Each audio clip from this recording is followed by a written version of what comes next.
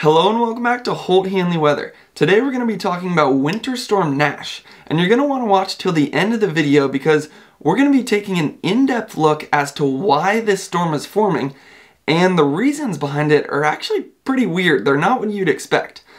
But first we're going to take a look at the rates and timing of this storm as it moves through North Carolina and Virginia. So this is a little snapshot of when the bullseye is going to hit. This is going to be Thursday, at about 7 p.m. The exact timing of that is still in question because really a lot of things have to come together all at once for the storm to really work, but we'll take a good look at that throughout this video. So right now, you see there's some rain working its way through the south, Alabama, Georgia, and then that low starts to move in, and by Thursday at 7 a.m., western North Carolina and eastern Tennessee are both starting to get a little, little dusting of snowfall. By Thursday at 1 p.m., that snow really starts to build into the area. Western North Carolina, you're now getting maybe 0.2 inches per hour, and then the snow is working its way up into Virginia and West Virginia as well. Well, right here is where the bullseye of the storm hits. This is Thursday at 7 p.m. North Carolina, you're getting pretty decent rates on this one, maybe 0.2 inches per hour in some places, and a wintry mix throughout kind of the southern portions of the state into South Carolina.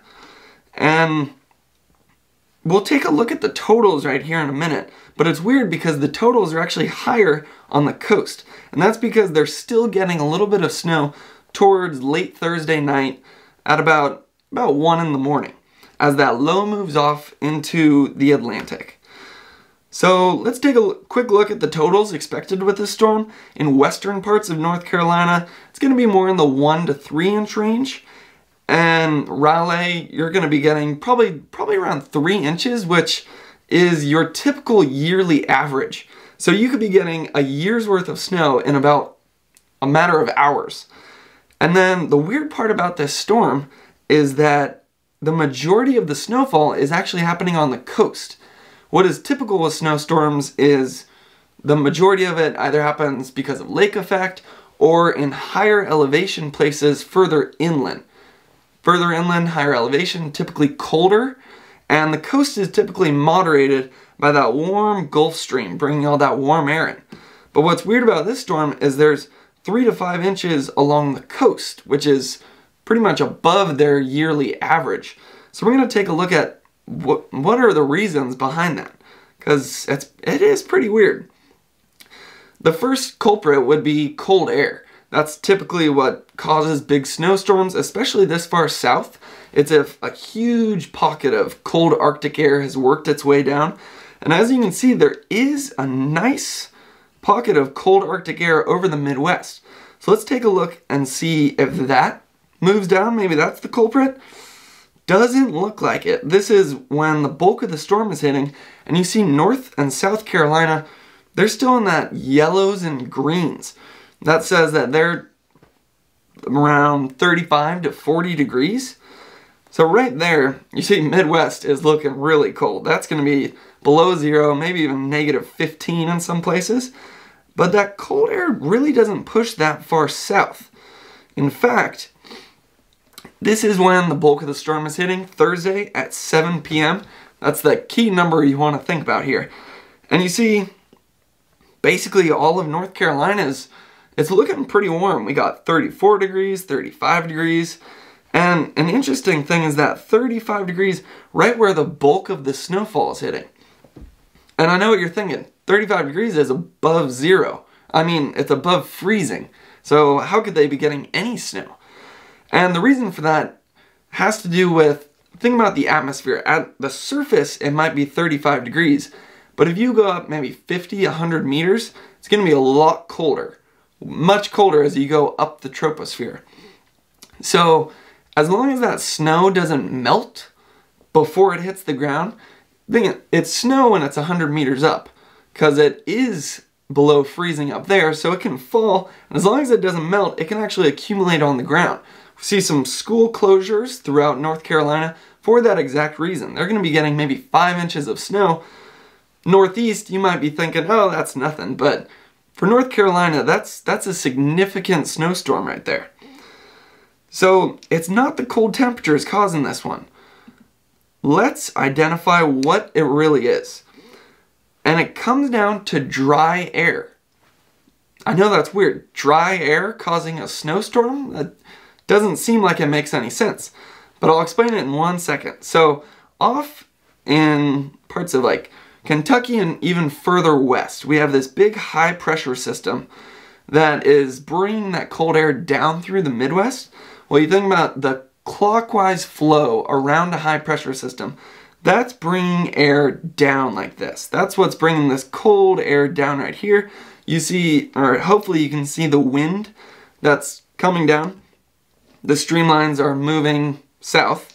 And then there's also a low off of off of South Carolina. It's pretty far off, so the low isn't causing the storm, but it is causing more winds to push south. You see actually pretty strong winds coming around this low.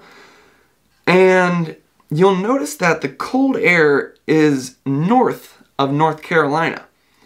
But what these winds are going to do is this cold air is extremely dry. So these winds are going to pull this dry air into North Carolina. Now, something pretty cool is going to happen. Precip is originally going to fall, let's say, as rain. As it falls through that dry air that the winds are bringing in, the precip is actually going to evaporate. The little water droplets are going to turn back into vapor. And when, when that happens, think about when you get out of a shower. You're really cold because the water is evaporating off your skin and that releases latent heat. Hopefully I'm not getting too sciencey here, but just think about a shower. When you get out, you get cold. Well, that's what the atmosphere is going to be doing because those droplets evaporate in the dry air and it cools the atmosphere. Because it cools it, now higher up it's a, like way below freezing and then when further rain falls, it's going to turn into snow. It's pretty, pretty cool to actually think about. The dry air is causing evaporation, which cools the atmosphere, which causes snow. There is one other feature that is driving the storm, and it has to do with the jet stream. Now, I'm not going to get too in-depth here. If you want a good look at what vorticity is, I've made a video explaining vorticity in the past. Basically, you have to know that vorticity is just the curl of winds, how much winds are turning. And when you get positive vorticity, that means it's turning like a cyclone or a hurricane. So it makes sense that positive vorticity is going to cause a storm. And in fact, it causes storm development. And something interesting about jet streams is when you have a really strong portion of the jet stream, like you're seeing right here, on this section, it's the lower exit region of the jet stream. You get a strong positive vorticity advection working right there. Now, what is that? How can I translate that? It is a lot of storm development moving into an area at the lower exit region of a jet stream. And you'll notice, this is right when we're getting all that snowfall, it is directly above North Carolina. So we get the dry air that's causing the atmosphere to cool down, and then we have this jet stream causing storm development. So the storm development and the freezing air work together to create snow for North Carolina. It's, it's pretty weird. Hopefully I haven't gotten too sciencey in this video, but you know, it's, it's just a weird storm, so I had to dive in and figure out why it was happening. Another big story going on right now is the flooding in the south. Pearl River Basin in Mississippi, basically going up the, the center of the state. Extreme flooding, state of emergency, thousands of homes have been flooded, and unfortunately, right now you see they're getting more rain. Actually, throughout Thursday, they're going to be getting an over, they're going to be getting over an inch of rain. And that's not what they need. The soil's already saturated. They can't take any more water. And as you see, they're getting some heavy rates, 0.5 inches per hour. That's, that's not too good. Let's see how long it lasts. Throughout Thursday, By Thursday at 7 p.m., it's gone. That low has moved up to hit North Carolina with some snow, and the rain has moved off into Georgia. So really the bulk of this rainfall is hitting right now, Thursday morning. And then by Friday morning, you're basically in the clear through Saturday and hopefully Sunday as well. So that's pretty necessary so you can start working on some of that recovery. Another big story is that cold air moving through the Midwest right now. And look at some of those temperatures. Negative 12, negative 18, negative 10 in parts of Wisconsin. Man, that that is cold. And another big thing about that is remember how heavy and how fast some of those winds looked?